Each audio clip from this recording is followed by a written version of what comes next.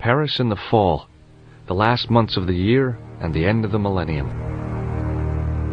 The city holds many memories for me of cafes, of music, of love, and of death.